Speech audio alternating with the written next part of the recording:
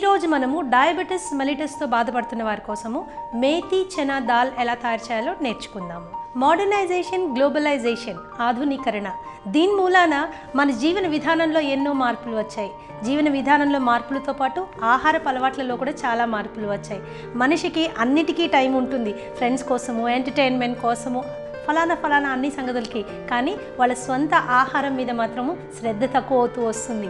మరి దాంతోటే కొత్త కొత్త డిజార్డర్స్ కొత్త కొత్త డిజీజెస్ కూడా వచ్చేస్తున్నాయి. అలాంటి ఒక లైఫ్ స్టైల్ డిజార్డరే డయాబెటీస్. అంటే మధుమేహం చక్కెర వ్యాధి.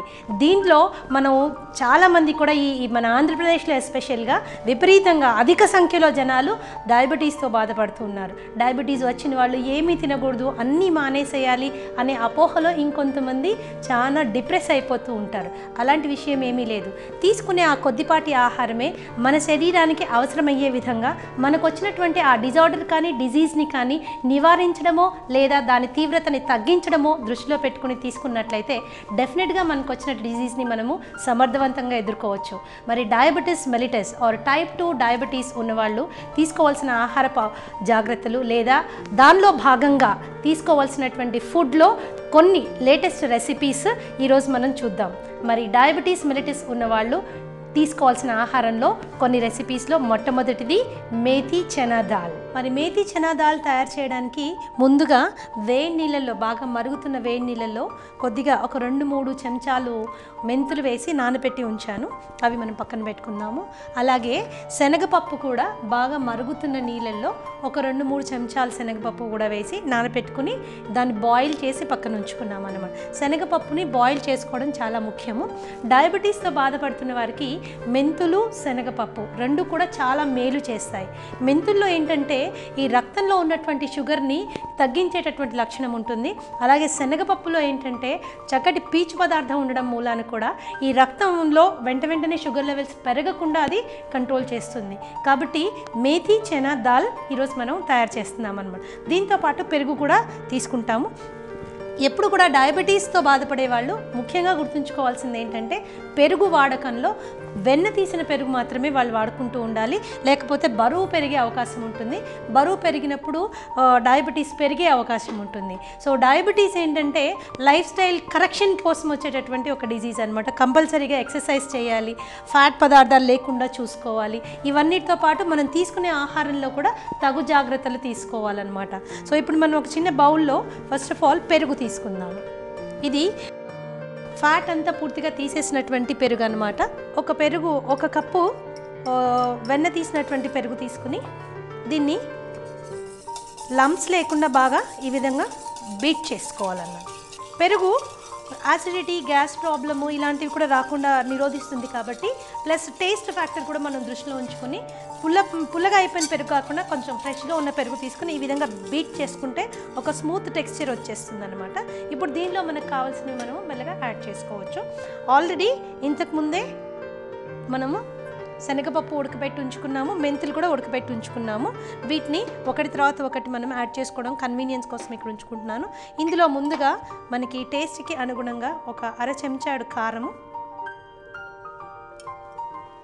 అలాగే టేస్ట్కి అనుగుణంగా కొద్దిగా ఉప్పు. బీట్ చేసుకుంటే ఈ స్మూత్ కన్సిస్టెన్సీలో వచ్చేసింది. దీన్ని ఇలా స్మూత్గా బీట్ చేసి పక్కన పెట్టేసుకుందాము. ఒక ప్యాన్లో కొద్దిగా ఆయిల్ తీసుకుని దాంట్లో ఫ్రెష్ వెజిటబుల్స్. డయాబెటీస్తో బాధపడుతున్న వాళ్ళు ఎప్పుడు గుర్తుంచుకోవాల్సిన విషయం ఏంటంటే వాళ్ళు తీసుకునేటటువంటి ఆహారంలో కార్బోహైడ్రేట్ శాతం అంటే అన్నము చాలా తగ్గించేసి దానికి బదులుగా ఫ్రెష్ ఫ్రూట్స్ ఫ్రెష్ వెజిటబుల్స్ ఇవి ఎన్ని ఎక్కువ పాళ్ళు తీసుకుంటే అంత మంచిదనమాట కాకపోతే ఫ్రూట్స్లో కూడాను స్వీట్ ఎక్కువ ఉండే ఫ్రూట్స్ లైక్ అంటే ఇప్పుడు ఫర్ ఎగ్జాంపుల్ మ్యాంగో లేకపోతే పైనాపిల్ సీతాఫలము లేకపోతే మామిడి పండు ఇలాంటివి తగ్గించి ద్రాక్ష పళ్ళు ఇలాంటివి తగ్గించి పపాయ వాటర్ మెలన్ ఇలాంటివి ఎక్కువగా తీసుకుంటే చాలా మేలు చేస్తుంది. ఒక పాన్ పెట్టుకుని దీంట్లో నూనె శాతం కూడా తగ్గించుకోవాల్సిన అవసరం చాలా ఉంటుంది. సాధ్యమైతే వీలు పడితే అవైలబిలిటీ ఉంటే గనక ఆలివ్ ఆయిల్ వాడకంలోకి మారితే చాలా మంచిది. మరి దాని కాస్ట్ దృష్ట్యా చాలామంది ప్రిఫర్ చేయరు. కానీ కాస్ట్ కంటే ఆరోగ్యం చాలా ముఖ్యం కాబట్టి ఆలివ్ ఆయిల్ తీసుకుంటే చాలా బెటర్. ఫ్యాట్ శాతం చాలా తక్కువ ఉంటుంది కాబట్టి దీంట్లో ముందుగానే మనం కట్ చేసి పెట్టుకున్నటువంటి క్యాప్సికమ్ ముక్కలు అలాగే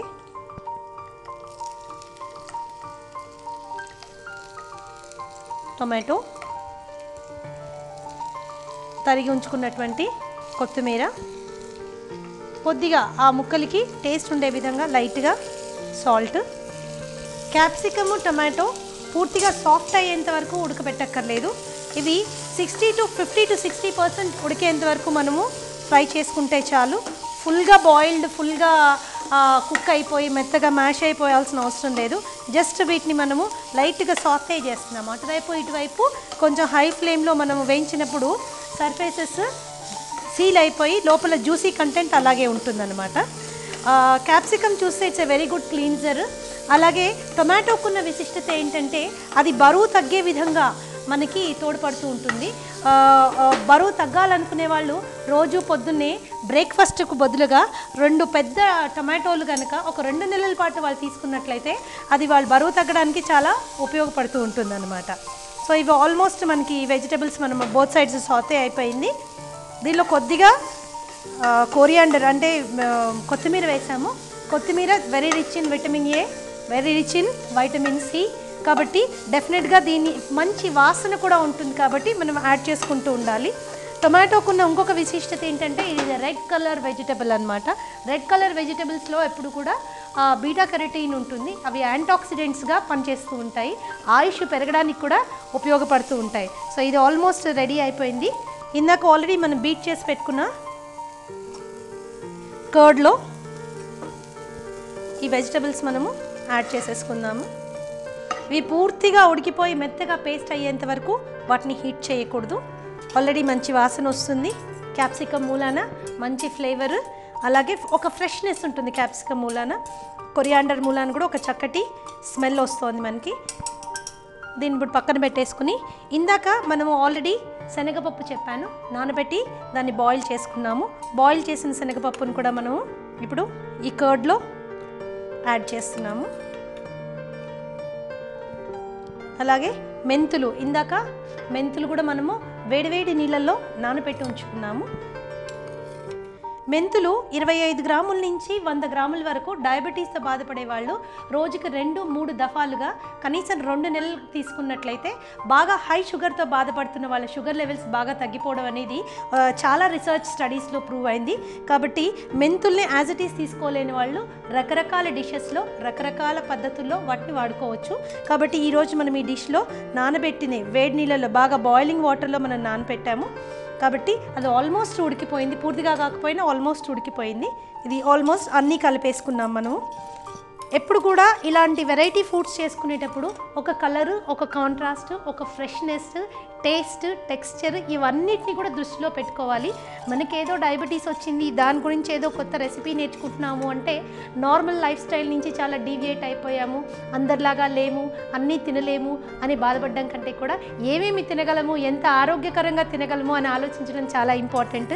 యాక్చువల్గా డయాబెటీస్ వచ్చి అన్ని విధాల ఆరోగ్యాన్ని మేనేజ్ చేసుకునే వాళ్ళు చాలామంది ఉన్నారు. దాని మూలాన ఎటువంటి ఇబ్బంది పాలు కాకుండా సరైన సలహాలు తీసుకొని వాళ్ళ డిజీస్ని వాళ్ళు చాలా చక్కగా మేనేజ్ చేసుకునే వాళ్ళు చాలామంది ఉన్నారు.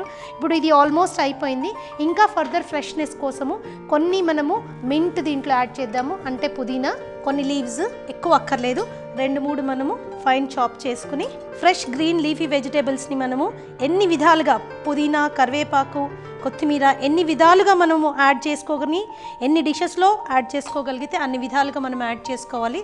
దీన్ని కూడా లైట్గా మనం పైన యాడ్ చేసుకున్నాము. ఇంకా పచ్చిమిరపకాయలు తినాలి అనే ఇంట్రెస్ట్ ఉన్నవాళ్ళు అంటే ఆ టైప్ ఆఫ్ కారం ఇంట్రెస్ట్ ఉన్న వాళ్ళు పచ్చిమిరపకాయలు యాడ్ చేసుకోవచ్చు. లేదు అలాంటి కారం ఇంట్రెస్ట్ లేదు అనుకున్న వాళ్ళు ఇంకా కొంచెం ఒక చిటికెడు మిరియాల పొడి జల్లుకోవచ్చు. చాలామంది పచ్చిమిరపకాయ అనగానే కారం కోసమే అనుకుంటారు. కానీ ఒక ఇంట్రెస్టింగ్ ఫ్యాక్టర్ అబౌట్ పచ్చిమిరపకాయ ఏంటంటే it is it's a very good source of vitamin C అనమాట డయాబెటీస్తో ఉన్న వాళ్ళకి డెఫినెట్గా విటమిన్ సి చాలా ఇంపార్టెంట్ ఇది శరీరంలో స్టోర్ చేసుకోలేము. ఎప్పటికప్పుడు నాశనం అయిపోతూ ఉంటుంది కాబట్టి తప్పనిసరిగా ఆహార పదార్థాల్లో టైం టు టైం మనం వైటమిన్ సి తీసుకుంటూనే ఉండాలి. సో పచ్చిమిరపకాయలో కూడా చాలా మంచి విటమిన్ సి ఉంటుంది. కాబట్టి కూడా దాన్ని వాడుకోవాలి. So our dish is ready ఇప్పుడు. అన్ని రకాల రుచులు దీనిలో వచ్చేసాయి. యాజ్ ఎ లాస్ట్ పార్ట్ ఒక్క స్పూను నిమ్మరసం దీనికి యాడ్ చేసుకుందాము. కొంచెం పులుపు కోసము అలాగే వైటమిన్ సి బ్యాలెన్స్ చేయడం కోసము. ఆయిల్ కంటెంట్ చాలా తక్కువ ఉంది. ఆయిల్ ఆలివ్ ఆయిల్ వాడాను. పెరుగు కానీ ఆ తర్వాత శనగపప్పు కానీ తర్వాత మెంతులు కానీ ఫ్రెష్ వెజిటబుల్స్ కానీ అలాగే పుదీనా కానీ కొత్తిమీర కానీ ఇవన్నీ కూడా ఏంటంటే a full of vitamins and minerals అలాగే పీచు పదార్థం కూడా బాగానే ఉంది వీటిలో. మె- మెంతుల్లో చాలా ఎక్కువ పీచు పదార్థం ఉంటుంది అలాగే శనగల్లో కూడా ఉంటుంది. సో ఇది అందుకనే మనము డయాబెటీస్తో ఉన్న వాళ్ళకి ఈ డిష్ మనం ప్రిఫర్ చేసాము ఏ డిష్ తయారు చేసినా దాన్ని ఆనందంగా అలంకరించుకొని చూస్తే తినాలి తినాలి అనిపించే విధంగా ప్రజెంటేషన్ చేసుకుంటే మనము ఇది ఏదో డిజీజ్ మేనేజ్ చేసుకోవడం కోసం తింటున్నాము అని కాదు కొత్త వెరైటీ నేర్చుకొని తింటున్నాము అనే ఒక భావన కలుగుతుంది. కాబట్టి దీన్ని మనం డిఫరెంట్గా ప్రజెంట్ చేసుకుందాం. సో మేతి చనా దాల్ ఒక ప్రజెంటేషన్ బౌల్లో తీసుకుంటున్నాను. ఇది తినడానికి చాలా బాగుంటుంది. ఇంకా కొద్దిగా చట్పటా టేస్ట్ ఉండేవాళ్ళు. అంటే ఆ విధంగా తినాలి అని ఇంట్రెస్ట్ ఉండేవాళ్ళు. దీన్ని కావాలంటే పైన కొంచెం చాట్ మసాలా కూడా వాళ్ళు యాడ్ చేసుకోవచ్చు. లేదా కొంతమంది జీరా పౌడర్ కూడా కావాలి అనుకుంటే యాడ్ చేసుకోవచ్చు. దీన్ని as it is four o'clock అప్పుడు లేదా త్రీ ఓ క్లాక్ ఆ టైంలో కొంచెం ఆకలి ఆకలేసే టైంలో ఊరికే స్నాక్ లాగా తినచ్చు. లేదా చపాతీతోటి పుల్కాతోటి కూడా ఒక అకంపనిమెంట్గా ఇవ్వచ్చు. తయారు చేసుకోవడం కూడా చాలా సింపుల్. దీనికోసం మనం ప్రత్యేకమైన శ్రద్ధతోటి ప్రత్యేకంగా తెచ్చుకోవాల్సినవి ఏమీ లేవు. అన్ని ఇంట్లో ఉండే ఇంగ్రీడియంట్సే కొత్త కాంబినేషన్లో చేసుకొని మనకున్న డిజార్డర్ గురించి బాధపడుతూ ఉండకుండా దాన్ని ఎఫెక్టివ్గా కంట్రోల్ చేసుకోవడానికి ఇలాంటి ఐటమ్స్ నేర్చుకోవాలి. సో మేథీ చనా దాల్ రెడీ అయిపోయింది కదా? తయారు చేసుకునే పద్ధతి చాలా సింపుల్ టైం కూడా చాలా తక్కువ పడుతుంది. పదార్థాలు అంటారా మనకి ఇంట్లో కామన్గా దొరికేవే. స్పెషల్గా తెచ్చుకొని స్పెషల్గా కష్టపడాల్సిన అవసరం ఏమీ లేదు. చాలా టేస్టీగా కూడా ఉంటుంది. మరి మీరు కూడా తప్పకుండా ట్రై చేయండి.